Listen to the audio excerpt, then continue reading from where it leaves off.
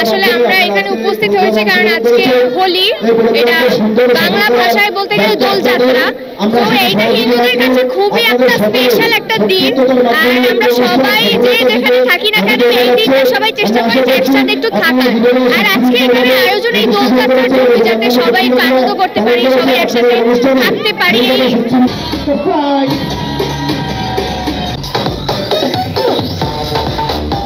সবসময় তো পাওয়া না এই কিছু কিছু অকেশনে আমরা এইরকম অনুষ্ঠানই পাওয়া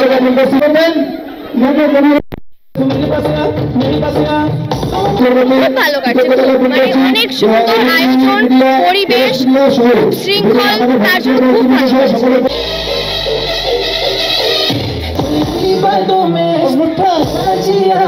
এখানে আনন্দ করতে এসেছি। অনেক এনজয় করতে এসেছি। আজকে হোলি তো এর জন্য।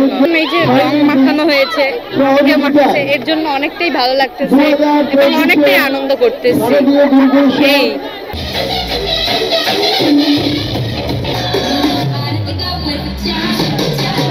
খুব সুন্দর। খুব ভালো লাগছে। কারণ আমাদের শ্রীকৃষ্ণ রাধা রানীর সাথে হোলি খেলছিল। এখন আমরাও তাই খেলতেছি। খুব ভালো লাগতেছে।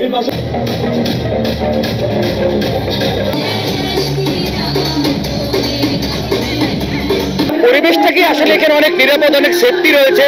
বিশেষ করে এখানে প্রশাসন রয়েছে, প্রশাসনকে অনেক সাপোর্ট দিচ্ছে এবং কমিটির লোকও খুব স্ট্রংলি আমাদের সাপোর্ট করছে।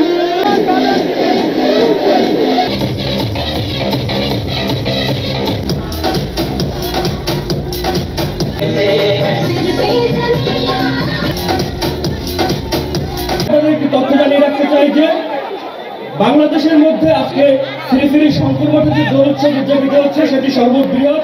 বলে আমরা আসলে চিহ্নিত করতে পেরেছি যেমনটি